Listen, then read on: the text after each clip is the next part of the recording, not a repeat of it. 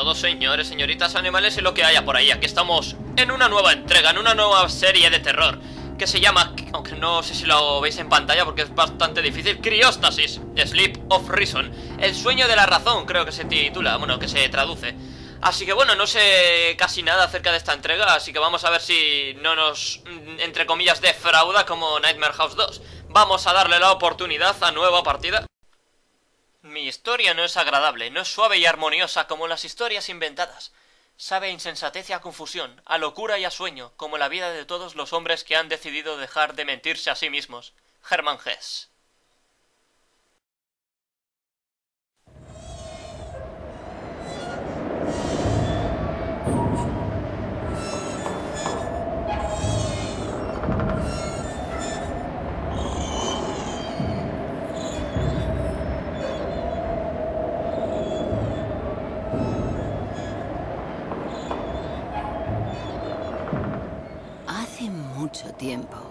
Existía un pueblo de gente sencilla, valiente y trabajadora. Impenetrables bosques rodeaban aquel lugar por tres costados. Y por el cuarto solo estaba la estepa. Pero un día, otras tribus surgieron de improviso y expulsaron al pueblo a las profundidades del bosque. El bosque era oscuro y cenagoso. Las ramas de sus árboles se entretejían con tanta densidad que resultaba imposible vislumbrar el cielo. Y los rayos del sol apenas podían alcanzar las aguas estancadas. Y cuando alcanzaban las aguas, el hedor que surgía enfermaba y mataba a los miembros de la tribu uno por uno.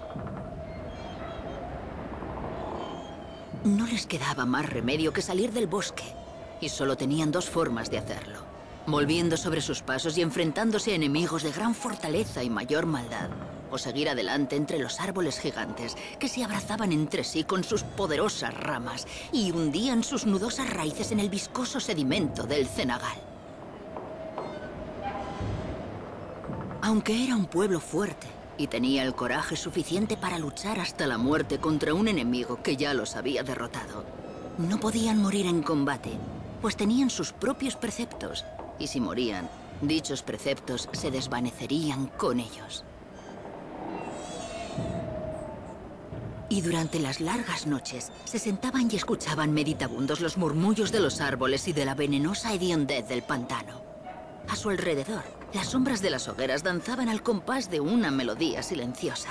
Pero no parecían sombras, sino más bien los malvados espíritus exultantes que habitaban en el follaje. Muy bien, aquí tenemos a lo que podría ser el único superviviente del pueblo aquel que fue invadido por una tribu más fuerte, más potente, de mayor fortaleza y coraje que ellos mismos. Pues bueno, decidieron adentrarse en el bosque y no acabaron bien. El hedor les echó para atrás y cada uno de ellos sucumbió. Bueno, pues a ver, hemos caído, no sé cómo considerar esto, autoguardado, partida guardada. Vale, quiero pensar que en esta zona no hay nada, justamente se supone, según la información, venimos de allá arriba. Y aquí estarían tiradas las hojas, ¿no? No lo sé. Para abrir una escotilla, pulsa la tecla ratón derecha. Vale, abrimos la escotilla. Ya digo que he tenido que eh, configurar la grafía para ir quitando desgraciadamente un poco de calidad al asunto Pero es que si no me va lento y tendría que descartar este juego Y ya sería una auténtica locura Vale, estamos en una... A través de la escotilla hemos llegado a este conducto Pero realmente esto no sé qué es. Vale, para abrir una escotilla casi todo es con el botón derecho del ratón. Vale, hay que ir acostumbrándose a los controles Aunque generalmente, por lo que he visto, ya más o menos siempre vienen a ser los mismos. Uy, he recogido algo. No sé exactamente qué es. Vale, pero lo hemos conseguido encender. Ah, quizás sea una linterna, amigos. Para encender la linterna con la letra F. Vale, esto viene a ser lo mismo y fácil Perfecto. Hasta aquí todo simple, pero el juego pinta bien. Estamos como una especie de búnker subterráneo. Y por supuesto, no sé si venimos de Alaska o de dónde cojones venimos Pero está todo congeladísimo. Vale, pero este juego, lo único que sé de este juego es que se basa en el frío y nuestro personaje tiene un medidor de temperatura. Por lo tanto tenemos que encontrar fuentes de calor siempre de manera urgente Vale, esto no sé si puede volver a cerrar Pero vale, antes de nada vamos a ir mirando la situación. Se ha cerrado solito la escotilla No sé si aquí poblaría algún tipo de raza, etnia o algo extraño Pero de momento no lo sé Vale, ahí no puedo entrar, me parece a mí. Pero aquí tenemos otra... Esto ya no sé si se consideraría escotilla. Pero bueno, vamos a llamarlas escotillas de, de momento. Vale, por ahí no sé... Hostia, puedo ir Pero claro, esto está congeladísimo y cuanto más me acerque al hielo realmente va a ser peor Así que vamos a avanzar No nos enrollemos Esto ya está un poco oscuro Pero por supuesto que de momento la ambientación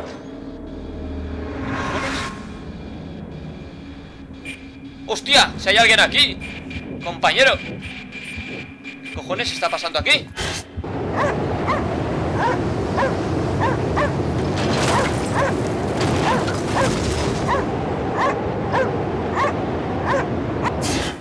Sé si es que de forma accidentada cayó aquí Lo que era este energúmeno, este ser Y el perro desgraciadamente no pudo acompañarle O favorablemente, como se, se vea Por lo menos se puso a salvo el perro. Es en realidad viene a ser bueno Yo lo admito, lo acepto más que un ser humano Lo siento, pero es así. Vale, a ver No sé si por aquí puedo saltar a base de, de hostias. Vale, está un poco rota la escalera Por lo tanto no tenemos ni acceso ni permiso para poder saltar Vale, todo esto lo veo muy congelado Así que de momento vamos a ir por esta escotilla. Ya digo que las voy a ir llamando así. Y puedes correr manteniendo pulsada la tecla Shift Pero vigila el indicador amigo porque muestra tu resistencia. Vale, el indicador amarillo es resistencia Pero si me avisan de que hay que correr Eso es muy malo, joder. Nunca me han gustado los juegos de terror que te avisan de ese tipo de cosas. Pero bueno, te dan la señal ya De que hay que hacer algo de movimiento. Y bueno, ya sabéis que ya... Joder, sube capullo. Ya sabéis que en este juego hay que rápidamente encontrar fuentes caloríficas. Vale. ¿Hay algo ahí? Hostia, hay un tipo colgado. Qué fuerte, qué fuerte. Vale, vamos a ver si intentamos Si conseguimos. Creo que de aquí me caigo. Ah, no, puedo pasar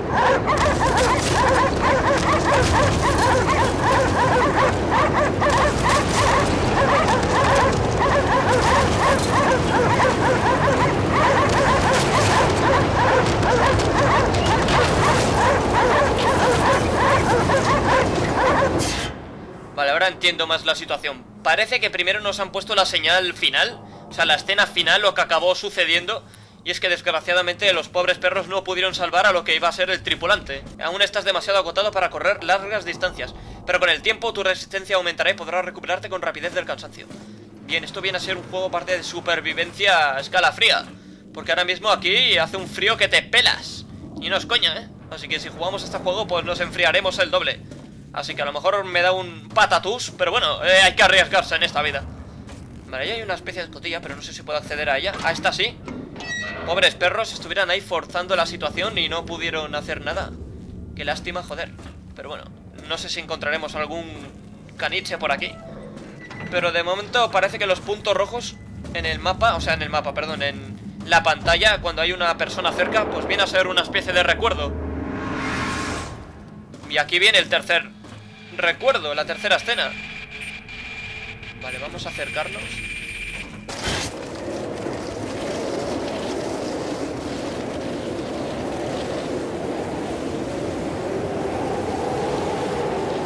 Tengo la sensación de que era alguien que estaba enfermo y que únicamente los perros podían salvarle. Pero que desgraciadamente pues, hubo el accidente que hemos visto antes claro, es que las condiciones climáticas eran pésimas.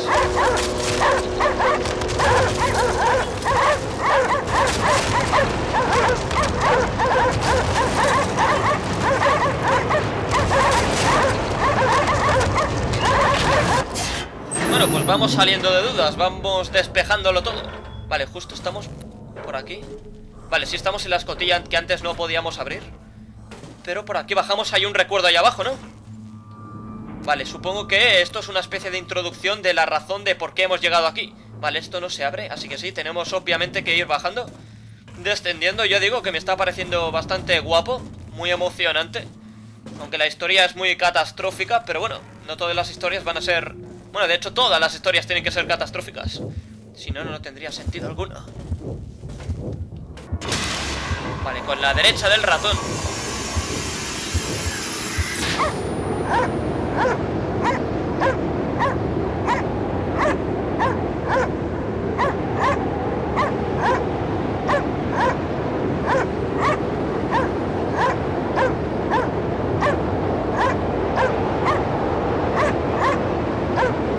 Vale, esto lo estoy manejando yo ahora mismo. Pobre perro, se ha quedado ahí y yo aquí abajo. Y aquí por supuesto que no tengo nada que hacer. Hostia, chaval, qué crueldad, qué crueldad. Pero bueno, vale, aquí hay El el asistente de investigación junior en la estación polar Polo 21, Alexander Nesterov, llegará a las coordenadas 86 grados 21 minutos norte, 74 grados 57 minutos este, el 27 de marzo de 1981, donde abordará el rompehielos atómico Viento del Norte. Rompehielos atómico. Joder, ya digo que esto me parece un poco cruel. Vale, supongo que tenemos que saltar. Por supuesto. No sé si iremos recogiendo más notas. Vale, en principio la acción que hacía el compañero este es de intentar llegar al perro. Que no sé si lo conseguirá, pero de momento va por buen camino. Y eso en realidad lo agradezco, hostia. Se han ido, se han ido. Quizá han visto que me haya salvado y han decidido alejarse, no tengo ni idea. Vale, de momento vamos a seguir al perro. Espero que se me esté escuchando bien. El perro se va hacia allí. Supongo que tengo que perseguirle de alguna forma. Pero claro, no sé si podré llegar a saltar todo esto. ¡Upa! Perfecto, he conseguido saltar. Esquivar esto es muy extraño, pero vamos, que esto es una especie de recuerdo y yo estoy maniobrando en él. No sé si tendremos la opción de cambiar algo de, de lo que sucedió. Vamos, quizá la línea temporal tendré que avanzar más. Hasta que encuentre una colina más baja y a poder ascender desde ahí. No sé hasta qué punto habrá un recuerdo así, pero auténtica locura. Vale, esto es una especie de buque de guerra está atado con unas cadenas, que no sé cómo ha llegado a parar ahí. No sé si estamos en el Ártico, en la Antártida o cerca de ahí, pero vamos, que por el temporal que estoy viendo, pues podría decirse que sí. Ahí está el perro. Yo creo que el objetivo es perseguirle o seguirle al menos. Macho, esto es como la leyenda del perro esquimal, super balto. Es un peliculón. Y ya digo que recomiendo porque es bastante guapa y encima se basa en algo real. Así que da el doble de motivación ver la película. Vamos, que aunque sea de, en plan dibujos, yo creo que está bastante guapa y la historia en sí, si nos centramos en lo que es la historia, es bastante melancólica y muy bonita. No sé realmente el camino. Vamos a ir por este. Aunque el perro no lo escucho. Bueno, sí, de hecho lo escucho, pero no lo veo. Esto está siendo acojonantemente acojonante, impactante. A ver si puedo entrar por aquí. Tengo la opción, perfecto. Me tendré que insultar a alguien. Menos mal. Menos mal. Uy, han desaparecido los... Pero...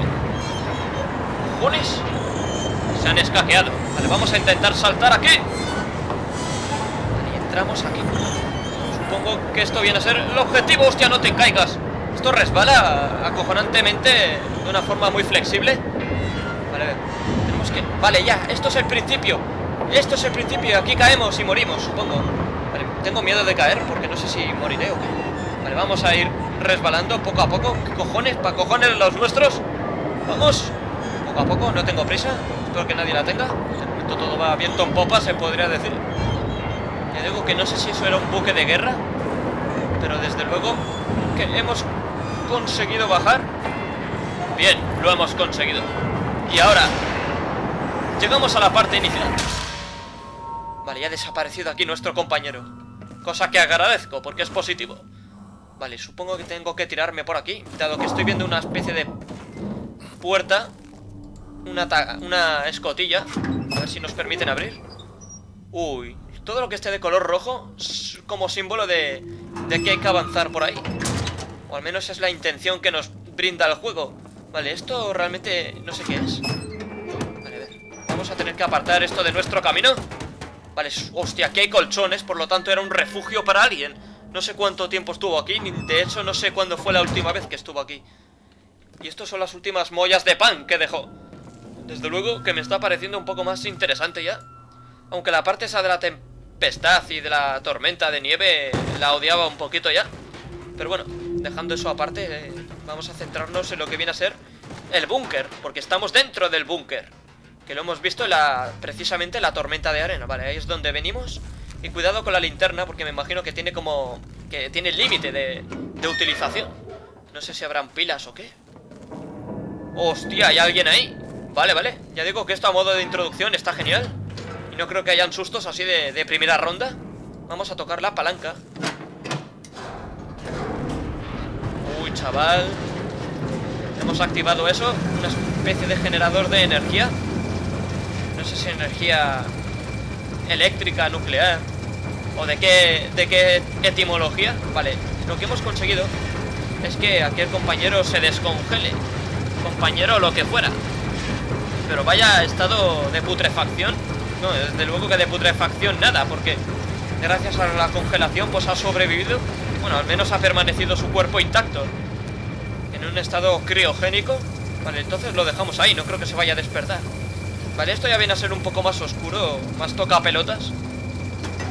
Para coger la cadena y el candado Pulsa la tecla del... Vale, y el candado lo he recogido, muy bien. ¿Y qué sentido tiene eso? Lo tengo en la mano, pero realmente no sé para qué Antes de ir por ahí, por esa puerta Vamos a mirar un momento aquí. Estoy apreciando algo. Esto parecía un... Una... ¡Hostia! No me sirve golpear a puñetazo limpio con el candado, sí señor. Menudo arma te has encontrado, amigo. Eso es una supervivencia a nivel pletórico. Vale, vale, perfecto, me parece genial y, es y espléndido y pletoro La verdad, no me hagáis mucho caso Que a veces tengo el día fresco. Vale, creo que tengo que romper esos tablones Con a puñetazo limpio Para romper las tablas de un puñetazo Pulsa la tecla, ¡pumba!